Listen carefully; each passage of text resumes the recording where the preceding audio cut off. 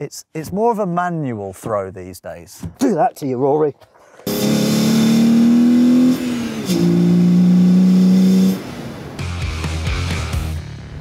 Now behind me are two BMWs that are awesome in every single conceivable way, except for reliability and corrosion. They also both belong to me, so stick around because in this video I'll be telling you exactly why you should be buying these cars while they're still cheap. No matter what this guy says. I don't care who you are, you should never, ever, ever buy one of these. Well, there's, there's a spring in it. The first car in question is my BMW X5, a car I bought for one purpose only, towing.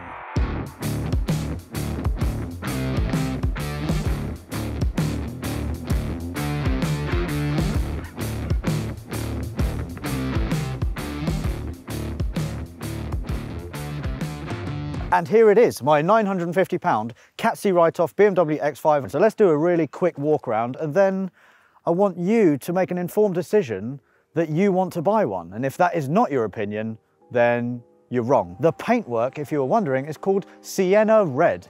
This car is actually an X BMW demo car from 2002. So it's had all the bells and whistles thrown at it. Double glazing, boot, which I'll show you is very special indeed. And there's a few other really cool bits about it. There are a few things that I need to address quite soon. The rear window, it's, it's more of a manual throw these days. Do you want to talk about what happened with the front window well? Ah, yeah, the front window. Okay, shall we demonstrate that? Have you got a screwdriver on you? Yes. Yes, okay.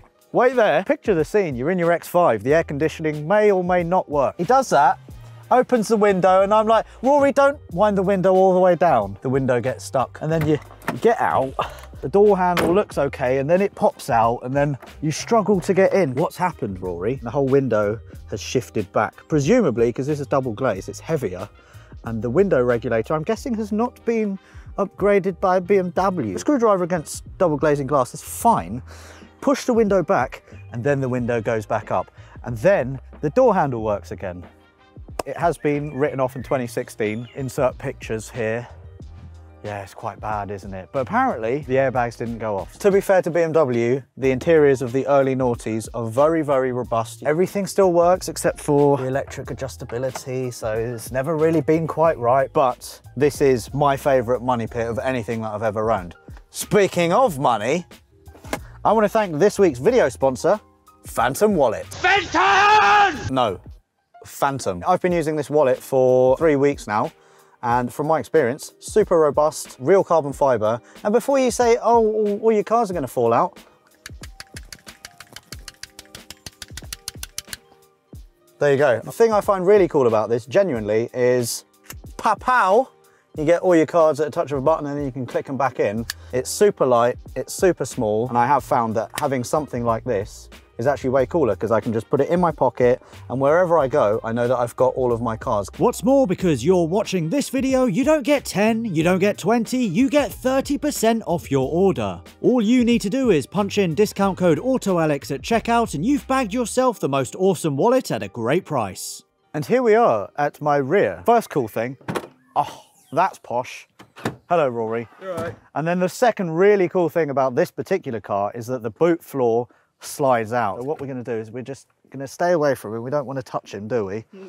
and then you don't talk. Oh, sorry, sorry. And then we're just going to just roll him out. With the sliding boot floor proving itself useful for any hitmen watching, you're probably now thinking, what's it like as a getaway vehicle? Well, as it happens, pretty damn good too. But the pièce de résistance, as they say in Germany, is that this car has got a fucking manual gearbox. And I'll tell you why, because this is a pre-facelift BMW X5 from 2002. And the autos on these were made out of chocolate. They were five-speed GM gearboxes. They shut themselves every other weekend. Do not, I repeat, do not go for the GM five-speed automatic. Go for the facelift because that then has the ZF gearbox not made by GM, thank the Lord. Anyway, let me talk you through what driving an X5, a 20-year-old X5 is like. And honestly, it feels like a big 5 Series, and that is no coincidence because this car is based on an E39 5 Series platform. So think of it as a heavy 5 Series on stilts. It is shit off-road, but really, really good on-road. And again,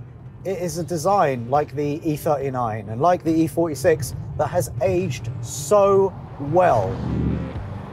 When they first came out, everyone was like, oh, God, that's going to age really badly. What a disgusting pig. And now look, everyone comes crawling back and looks at it and thinks, Oh, nostalgia. Oh, that reminds me when I used to be a teenager or at school. Oh, I want one. Well, get one, okay? Because let me tell you, the E53 X5 is the most reliable, unreliable car you can buy. Expect a lot of things to break on this car. Door handles, suspension, window regulators, and, and, and, and, and. Rust is not one of them. That, that's just reserved for the E46 drive this probably 50% of the time. Up the M40, 70 miles an hour. There is no rushing with this car, especially this car because there's quite a few issues. One of the lower suspension arms, the bushes in that are completely perished. The drive shaft as well, they are clicking like a, uh, like a motherfucker. And the price of these, considering how much car you get, you can pick one of these up, a really good condition one for between three and four thousand pounds. That will be probably a facelift. I paid £950 for Rex. You're probably thinking that the fuel economy on this is going to be pretty shocking, but it's not. On a long run, 70-ish miles an hour. 36 mpg I'm getting, and when I'm towing a car, 31, 32 mpg. Everything that I want in a car, economy, performance, fun, torque, power, this has, and especially the E46 330i. Perfect two-car garage. Tell me I'm wrong. Oh, and we've got air suspension on the rear, which works. That's also a very common failure point. Apart from that, they're great cars. And now let's take a look at the other BMW that I believe any true petrol head should own at least once in their lives. And this is my E46 330i Touring Sport Manual finished in Techno Violet. Now the cool thing about this car is that it has 219.2 thousand miles. So it is a testament of a good service and the M54 B30 engine being rock solid. Yeah, there's a bit of rust. The front wings, what's the word I'm looking for?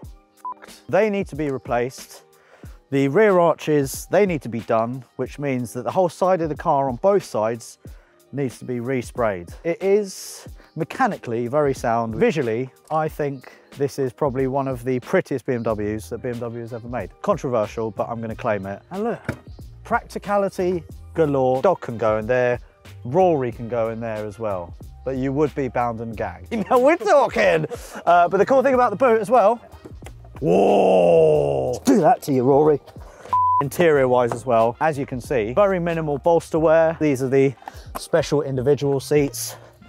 And it's just a really nice small cabin, but big enough for four or five people. Steering wheel's lovely. This has also been Alcantara wrapped. Air conditioning works in this one. And then we have wood Every BMW should come with wood and leather. I love this car. It's a car that I probably will hang on to for a very, very long time. And I think that more people need to wise up to the E46, 330i or 330d manual Tourings because they, for me, are the best shape. They're the most practical, they're the coolest, and they are only going up in value. So invest now while you still can. Don't drift them, cherish them, because they won't be on the road for much longer. And speaking of being on the road, let's dive straight in and do just that. This is actually, and I've bored a lot of people saying this, but this is a one of one in the UK ever made in this spec. Now, Barney has got quite a few bits, uh, quite tricked out. The uh, steering rack for starters is from a 320D. It's a quicker steering rack. Bilstein, I think B14 suspension all round. It is set up for kind of fast road, maybe a little bit of track driving. I'm 37, okay? It's a little bit too firm for my liking, but for the twisties, it is absolutely perfect and only rubs every now and then. Five-speed manual gearbox, BBS CH alloys, I think they are reps, and they are wrapped in Goodyear Asymmetric 5, so really, really sticky, really, really expensive rubber. Grip levels for days. It is such an incredible car. Big enough for a dog. It's economical for long trips as well. You can do 40 mpg. This is, in my opinion, pound for pound, the best car you can buy for under £5,000. Case closed. Anyone who says otherwise, their opinion is incorrect. Okay, I don't want to hear it. It's easy to work on, it's reliable, except for when it's not reliable. I have encountered a few issues, um, first of which the fuel sender decided to fail, so that got changed, and now my uh, fuel gauge lies to me. So I've run out of fuel, on the motorway twice. Not ideal. There is honestly very little bad to be said about this car, except for they are wicked and they rust. We'll move on from the rust bit, okay? And values of these cars are starting to shoot through the roof again. So buy an E46 like this, a 330i Touring, if you're really cool like me, they are still cheap. And when you consider everything that this car represents, economy, power, fun, reliability, I don't think there's anything that comes close.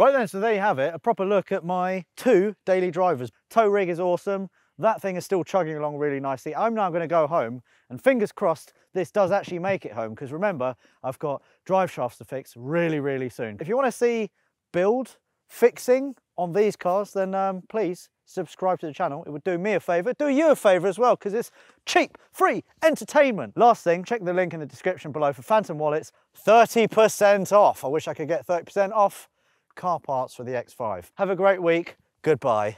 And with that transition, No, one, one more. Come here. Come here, Robert. Come here. Come here.